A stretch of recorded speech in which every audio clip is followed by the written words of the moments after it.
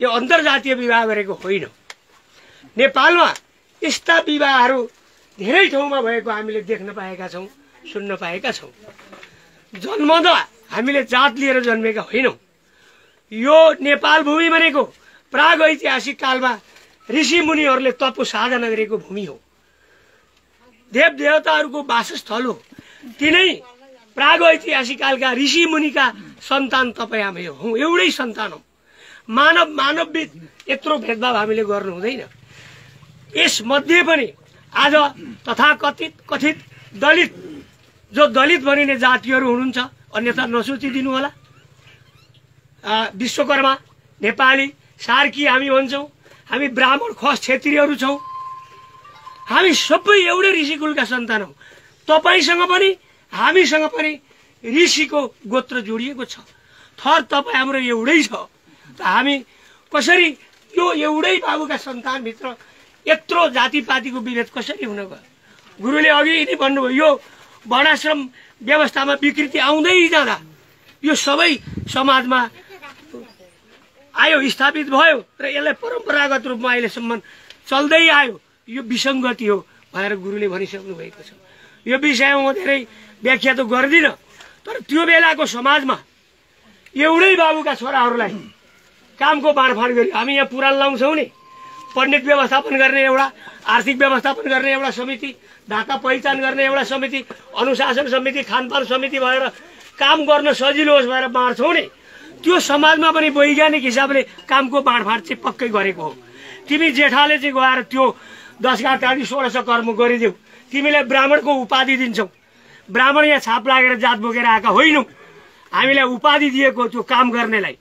तिमी राज्यको चाहिँ संरक्षण गर तिम्रो उपाधि तिम्रो पद क्षेत्रीय हो भनेर दिए। एक जातिलाई तिमी खेतीपाती गर अर्को जातिलाई तिमी यो काम गर। वैश्य शूद्र भएर यसरी कामको बाँडफाँड गरियो वैज्ञानिक हिसाबले गरियो। कामको बाँडफाँड गर्दै जाँदा त्यही कालान्तरमा त्यो समाजमा जातिपातीको विभेद हुँदै हुँदै आयो। त्यो दाजु ब्राह्मण षोडश कर्म गर्ने कर्मकाण्डी गर्ने ब्राह्मणले भाइका हातको पानी खाएन। किनभने ऊ फलामको काम गरिराखेको छ विश्वको काम गरिराखेको छ। खरानीले धुटो मुटो अगारले कालै छ त्यो सुकिलो मुकिलो हुने दाजुले पानी खान घिन खाएन। दाजुका छोराले पनि खाएन नातिले पनि खाएन। श्राद्धमा बिरालो बाँध्ने जस्तो चलन बढ्दै बढ्दै बढ्दै आएर जाति जाति बिचको भेद भेदभाव यसरी बढ्न गयो। हाम्रो शास्त्रले यो भन्दैन। के भन्छ भने जन्मना जायते शूद्र संस्कार दिव्य उच्चते। वेद भ्यासे भवेद विप्र ब्रह्म जानती ब्राह्मण। जन्मिँदा सबै शूद्रै हुन्छन्। कर्म गरेपछि द्युज हुन्छ। ब्रह्म कर्म र वेद पढेपछि जान्ने भएपछि ऊ ब्राह्मण हुन्छ भनेको छ। ब्राह्मण चाहिँ अलिक पढेर जान्ने भयो उसको भाइ चाहिँ त्यहाँ आरनमा बसेर दुनियाँको फलामको काम गर्ने कलाकार भयो। त ऊ त सधैँ फोहोरी भयो। त उसको हातको पानी किन खान्थ्यो? अर्कोलाई लुगा सबैलाई एउटा शरीरमा सौन्दर्य बढाइदियो शरीरको संरक्षण गरिदियो। तिमी लुगा त तिम्रो काम त्यही हो। तिमीलाई दमाईको पदवी दियो। यसरी यो त पदवी त जात बाँडेको र पछि यसलाई जातमा रूपान्तरण गर्दै जाँदा तपाईँ हामी एउटै दाजुभाइभित्र यत्रो भिन्नता आयो बडा दुःख लाग्दो कुरो छ यस समाजमा। त आज म एउटा पण्डित ब्राह्मण हुँ त मेरो छोरो अखाद्य पदार्थ खान्छ त्यो जथाभावी खाएर बोलेर त्यो ढलमा लड्छ भने त्यसलाई के? मैले ब्राह्मणै भन्ने हो त। ब्राह्मण भन्न मिल्छ। ब्रह्म कर्म गर्नुपर्छ त्यो ब्राह्मण हुन्छ। आज एउटा दलित वर्गको मान्छेले ब्रह्म कर्म गर्छ उच्च काम गर्छ भागवत पाठ गर्छ वेद पढ्छ भने त दलित होस् तसँग छुवाछुत छ भनेर भेदभावै राख्दा यो समाजको संरचना अगाडि बढ्न सक्छ कि सक्दैन? यो कुरा अत्यन्तै जटिल छ सोच्नुपर्ने अवस्था छ। आज हाम्रो डाक्टर प्रपन्नाचार्य स्वामीजी दिवङ्गत भइसक्नु भएको छ। उहाँ एउटा संसारकै कत्रो विद्वत पण्डित कहलिनुहुन्थ्यो। कत्रो उहाँले दर्शन शास्त्रमा डाक्टर गर्नुभयो। त जानेर पढेर मान्छे ठुलो हुन्छ। जातले ठुलो सानो हुँदैन। तपाईँ हामीको शरीरको बनावट एउटै छ। बडो एउटै हो। वर्ग एउटै हो। शरीरको बडी स्ट्रक्चर एउटै हो खुन एउटै हो। कसरी तपाईँको हातको पानी नचल्ने? तपाईँले बनाएका गाग्राभित्रको पानी चल्ने तपाईँले बनाएको भाँडामा हालेको चामलको भात हामीले चल्ने तपाईँहरू नचल्ने। यो अत्यन्तै समाजमा यो एउटा चेतनाको कमीले यो भएको। के भन्छ? नजातमा कर्मणा शास्त्र क्षेत्रीय वैषयो बच नवैश्यो नच भई म्लेच्छु भेदितो गुण कर्ममी जातले हुँदैन जन्मिँदा जात लिएर कसैले आएको छैन। गुण र कर्ममा गुणले र कामले भेदभाव हुन्छ। भनेर हाम्रो शास्त्रले भन्छ। त्यो हाम्रा बाबुहरूले भने पनि होइन। हामी ब्राह्मणहरूले पनि यो जातिपातीको भेदभाव ल्याएको होइन। यो कुसंस्कार बसेर आयो। यसैले परम्परागत रूपमा मैले पनि पानी खाइनँ मेरा छोराले पनि खाएन नातिले पनि खाने चलन बस्ती आएको। खाने हो अब। ब्रह्म कर्म गर्ने स्वच्छ हुनुपर्छ व्यवहार पवित्र हुनुपर्छ। यसमा भेदभाव छैन। हाम्रो ब्राह्मण समाजले यसलाई निरन्तरता दिएको छ। जाति पाति भेदभाव उन्मूलन भनेर यस्ता धेरै कार्यक्रम गरेका छन्। यस्तामा हामी जान्छौँ अतिथिको रूपमा बोलाइन्छ। यस्तै कार्यक्रमहरू हामी गर्छौँ। आज यो हाम्रो लागि चाहिँ सौभाग्य हो ब्राह्मण समाजको लागि। यस्ता कुरा ब्राह्मण समाजले चिर्दै जाने लक्ष्य राखेको छ। एकात्तर सालमा धरानमा बाहुन्नजना पटुकलाई हामीले समावेशी व्रतबन्ध गरायौँ।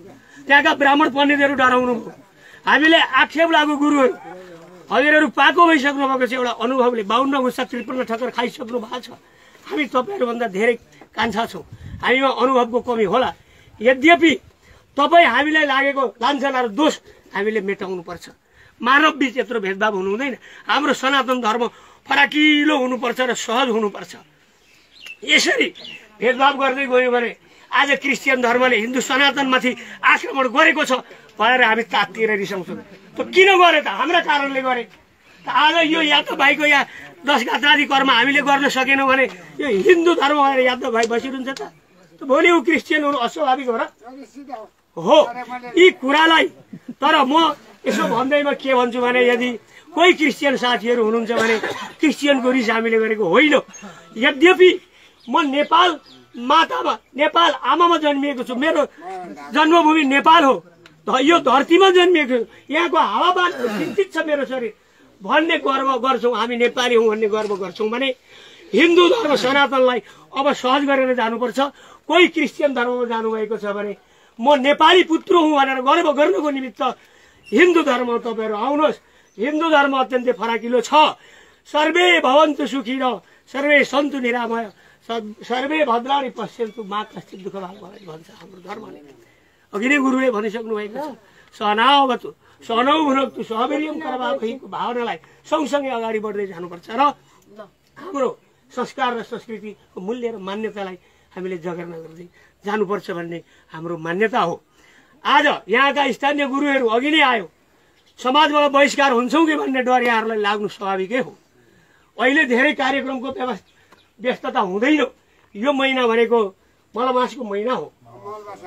यहाँ धार्मिक कार्यहरू धेरै हुँदैन अहिले गुरुहरू फुर्सद पक्कै हुनुहुन्छ पक्कै हुनुहुन्छ तर यद्यपि यहाँहरूलाई अलिकति डर लाग्नु सङ्कोच मान्नु स्वाभाविक हो तर गुरुज्यूहरूले धेरै कुरा बुझ्नुभएको छ अघि मैले दुईटा शब्द भने जन्मिँदा एउटै भएर जन्मियौँ जन्मिन्छौँ गुण र कर्मले मात्रै जातको विभेद हुन्छ जन्मले विभेद हुँदैन यो कुरा गुरुजीहरूले बुझिदिनुहोस् र स्थानीय गुरुहरू यहाँ हुनुहुन्छ तपाईँहरूले यहाँ यो दस जात्रादि कर्मलाई निरन्तरता दिएर सम्पन्न गर्न अत्यन्तै जरुरी छ। तपाईँहरूको भोलिको ठाउँ पनि यही हो। ब्राह्मण पेसाको एउटा व्यावसायिक रूपमा गरी खाने ठाउँ पनि तपाईँहरूको यही हो। त यहाँ तपाईँहरूलाई समाजबाट तपाईँहरूले डराउनु पर्दैन। कसैले लान्छना लाउँछ भने आज बहत्तर जिल्लामा सङ्गठन भइसकेको एउटा सिङ्गो ब्राह्मण समाज तपाईँहरूको पछाडि छ। यसमा डराउने आपत्ति छैन। यदि तपाईँहरूले यो दस गात्रादि कर्मलाई सम्पन्न गर्न सक्नुहुन्न भने हामीले हाम्रा आदरणीय गुरु पण्डित कर्मकाण्डी पण्डित शास्त्रीय गुरुजीलाई यहाँ उपस्थित गराएका छौँ। यहाँको सम्मान तपाईँहरूले गर्नुपर्छ। कुनै पनि समाजको कुनै पनि मान्छेले उहाँको जुन एउटा कर्मकाण्डमाथि उहाँको कार्यक्रममाथि कुठाराघात गर्छ भने हाम्रो सिङ्गो ब्राह्मण समाज उहाँसँग जुरुक्कै पछि लाग्ने छ उहाँहरूको सम्मान तपाईँ हामीले गर्नुपर्छ। र उहाँको व्यवस्था तपाईँहरूले आउने जाने गरिदिनुहोस्। यद्यपि यहाँ स्थानीय पण्डितहरू हुनुहुन्न भने उहाँलाई हाम्रो ब्राह्मण समाजले हाम्रो आदरणीय पण्डित चक्रपाणीज्यूले अनुरोध गरेर यहाँसम्म ल्याएका छौँ। तपाईँ हामी एउटै खोलाका माछा हौ एउटै मुलुकका सन्तति हौ एउटै आमाका सन्तति हौ। अब तपाईँहरू निसन्देह बस्नुहोस्। ब्राह्मण क्षेत्रीहरूसँग हामी दलितहरूको चाहिँ फाटो हुँदैन। छुवाछुतको भेदभाव छैन भन्ने कुरा तपाईँहरूले सोचे हुन्छ। यो घर बाहिर यो सबै भइसक्यो। अब यो भेदभावलाई भित्र छिर्न मात्रै बाँकी छ। हामीले हतार गर्नु हुँदैन। यो भइसक्छ अब। निकट भविष्यमा तपाईँ हामी एक हौँ भन्ने भावना जागृत भइसकेको छ। र कुनै पनि व्यक्ति जन्मिन्छ मर्छ जाता शहीद रुम मृत्यु जन्मिने व्यक्तिको मृत्यु हुन्छ। त दस यात्रादि कर्म गरेर हामीले यो प्रेतबाट मुक्ति हुनुपर्छ र एउटा व्यक्तिलाई मुक्ति गराउनु हामी ब्राह्मणहरूको कर्तव्य हो। ब्राह्मणहरूले गर्ने काम हो। हामीले गऱ्यौँ भने पो हाम्रो जात जान्छ त। गऱ्यौँ भने गर्ने काम कसरी जात जान्छ? हाम्रो बढ्छ। र ब्राह्मण समाजले कसैलाई पनि यो भेदभावबाट मुक्ति गराउने जात जातिको एउटा छुवाछुतबाट मुक्ति गराउने उद्देश्य हामीले राखेका छौँ र यस्ता कार्यक्रम हामीले मुलुकका विभिन्न ठाउँमा गरेका छौँ। आज यो पनि यो ठाउँमा चाहिँ एउटा ऐतिहासिक रूपमा यो कार्य देखा पर्यो यसलाई समस्या नलिनुहोस्। यसलाई चिर्दै जाने लक्ष्य हामीले राखेका छौँ। त एक ठाउँमा मेरै ससुराली पर्छन् अब भन्दा के छ? मेरो एउटा सालो क्रिस्चियन हो। तिनवटा साला हुन्। ऊ काजक्रियै नगर्ने दमकमा होटल गरेर बसिया छ मासुको बाफ लिन्छ ऊ। अरू भाइ वा कोराभित्र बसेका छन्। ए भाइ जिया भाइ के गरिस्? बाबु मारे होइन तेरा? त मासु खाइरहेछ। भेनाजु मेरो त धर्म यस्तो सकेँ मैले त उसै दिन। अरू भाइ काज कोराभित्र छ। यस्तो एउटा घरभित्र यत्रो फाटो त्यो पो फाटो त। त्यो घरभित्र त्यो दाजुभाइ पो छुवाछुतको भेदभाव हुनुपर्छ त। आऊ तिमी पनि हाम्रो सनातनभित्र आऊ। अप्ठ्यारो छैन। त बाबुआमाको श्रद्धाको निमित्त दस दिन खर्च तिमीले के बिग्रिन्छ त? हामीले भन्यौँ मानेन। तर अब हामीले यो हिन्दू सनातनमा अलिकति सहज बनायौँ भने हाम्रा धेरै मान्छेहरू बाहिर जान्छन्। यहाँ ओमकार परिवारहरू हाम्रो चौरानब्बे प्रतिशत छ राई लिम्बूहरू पारोहाङ सुम्रीमा भनेर पूजा गर्नुहुन्छ। हामी शिव पार्वती भनेर पूजा गर्छौँ। बुद्धिस्टहरू ओम माने पेमे तागेरा निम्मा फुवा यी सब हाम्रो ओमकार त धेरै छौँ नि। त्यसैले हामी एउटा समाजभित्र छौँ। हाम्रो वैदिक शास्त्र अनुसार सनातन धर्म अनुसार हाम्रो यी काजक्रियाहरू यहाँ हुनुपर्छ। यसमा कसैले अनौठो मार्नु मान्नुपर्ने अवस्था छैन।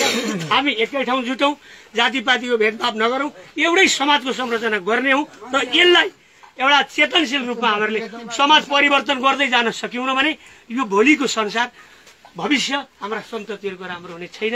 मैले धेरै कुरा गरिनँ गर्मी छ। हाम्रो गुरुजीलाई मैले धेरै कर लाएँ र उहाँले यहाँ आउन एउटा उत्सुकता पनि जनाउनु हो। माताजी बिरामी हुनुहुन्छ त्यसको बावजुद पनि आइदिनु भएको छ। पत्रकार साथीहरू आइदिनु भयो। ब्राह्मण समाजलाई यो कुरा राख्नुभयो अहिले पनि धरानबाट यहाँ फोन आइरहेछ। के गर्दै हुनुहुन्छ दिल्ली सर भनेर। हामी व्यस्त छौँ। तपाईँहरू नहतिनुहोस् आ, यो काम हुन्छ निरन्तरता दिने भनेर हामीले भनिसकेका छौँ। अब आइन्दा अगाडिका दिनमा जे जे भए अगाडिका पुस्ताको कुरा हामीले बुझ्यौँ न हामीसँग भएका विकृति र विसङ्गतिहरूलाई छोड्दै परिवेश अनुसार नयाँ समाजको रूपान्तरण गर्दै जानुपर्छ। मैले तपाईँहरूलाई पनि अनुरोध गरेँ तपाईँहरू दलित पनि अब नमनिदिनुहोस् दलित भनेको दमाई कामी सार्की होइन दलित भनेको। म त दलित भनेको जो निम्न स्तरको छ जो अर्कासँग पिसिएको छ गरिब छ त्यो दलित हो। मेरो भाषामा हाम्रो ब्राह्मण समाजको भाषामा त दलित जातिले आलिसान घर बनाएर बसिया छ। ऊ जातले दलित हुने। एउटा ब्राह्मण समाजकी महिला मकै पोलेर आफ्नो छोराछोरी पढेर आएको छ ऊ चाहिँ के जातले सम्पन्न हुने? यो कुरा होइन। वर्ग छुट्यौँ। दलितलाई पनि आरक्षण दियो सरकारले। हाम्रो कुरा यो हो। तपाईँहरूको दलित शब्द नहुटे नहटेसम्म तपाईँ हामी बिच अलिकति छुवाछुतको भेदभाव रहिरहन्छ कि यो त हामीले भने होइन। हिजो तपाईँहरू जस्तै हाम्रो गाउँमा पनि छन् हुनुहुन्थ्यो। काका भन्यौँ बाबु भन्यौँ फुपाजु भन्यौँ मित बाबु भन्यौँ यस्तो साइनो लाएर एउटा सद्भाव राखेर सिर्जना भएको समाज अहिले यो राजनीतिक कारणले दलित अन्य जाति खस ब्राह्मण भएर तपाईँ हामी बिच लडाइँ मचाइएको छ। यो कुरा तपाईँहरूले मनन गरेर हामीले मनन गरेर बुझ्नुपर्छ। महानुभावहरू मैले गुरुको अगाडि धेरै कुरा बोलेर अभिष्ट गरेँ होला। मलाई गुरुको सम्मान गर्छु। मभन्दा धेरै विद्वत हुनुहुन्छ मैले क्षमा मागेँ। बोल्दै जाँदा कति कुरा मैले नराम्रा पनि बोले होला। तपाईँहरूको यो कार्यक्रमलाई सहज गरेर आज ब्राह्मण समाज नेपाल लगायत हाम्रो आदरणीय गुरुजी आउनुभएको छ। पत्रकार मित्रहरू आउनुभएको छ। यो गर्मीका बावजुद पनि यहाँहरू खटेर बसिदिनु भयो र हाम्रा दुईवटा कुरा सुनिदिनु भयो। यहाँहरू सबैलाई ब्राह्मण समाज नेपालको तर्फबाट मेरो